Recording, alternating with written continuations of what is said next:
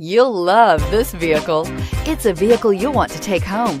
Call today and get in touch with the dealer directly and be the first person to open the vehicle's door today. This vehicle has less than 100 miles. This isn't just a vehicle, it's an experience.